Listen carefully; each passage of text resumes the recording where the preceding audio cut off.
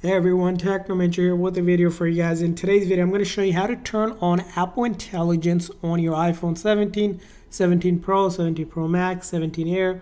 So let's get started. So first thing you want to do is go into your setting. From your setting here, you're going to see option that's Apple Intelligence and Siri. We're going to tap on that. And from here on, very top here, you're going to see Apple Intelligence feature. So all you need to do is turn this toggle on and what will happen is it will download that software that is needed to run Apple Intelligence and make sure you're connected to Wi-Fi uh, as it's saying over here. Additionally, you also want to make sure you have Siri turned on either through Siri or Hey Siri. I usually just use one of the first two options. So I'm going to hit continue and then go through these prompts. Siri, how's the weather? Hey Siri, send a message. Siri, set a timer for three minutes.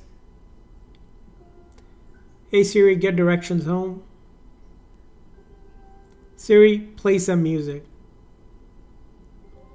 Alright, as you can see here, Siri is ready, so we're good to go there. If you want to use the side button for Siri, you might want to turn this on as well. You can turn it off. And we have Siri and then Apple Intelligent enabled and turned on. In order to activate it, basically saying, Hey Siri will activate it, or if you press this button, as you can see the border is going on, which means Apple Intelligent is turned on and can process your command as you give it. So that's how you do it. I hope this video was helpful.